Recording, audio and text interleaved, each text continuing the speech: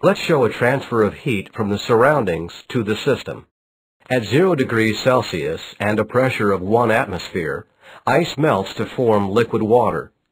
To melt a solid, attractive forces around the particles must be overcome.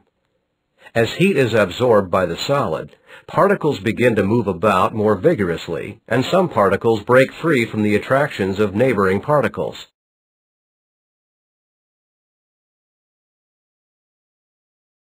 Measurements show that for every mole of ice converted to liquid water at 0 degrees Celsius and a pressure of 1 atmosphere, 6.01 kilojoules of energy is absorbed by the system, the ice, from the surroundings. When heat has to be supplied to the system by the surroundings, the process is called an endothermic process. Click on the button below to look at the reverse process, the freezing of water.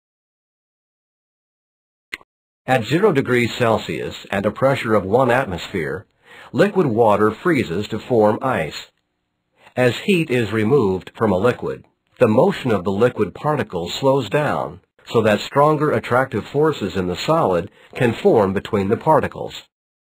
Measurements show that for every mole of liquid water converted to ice at 0 degrees Celsius and a pressure of 1 atmosphere, 6.01 kilojoules of energy must be given off by the system to the surroundings.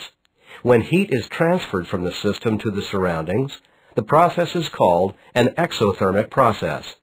Click on the button below to replay this animation.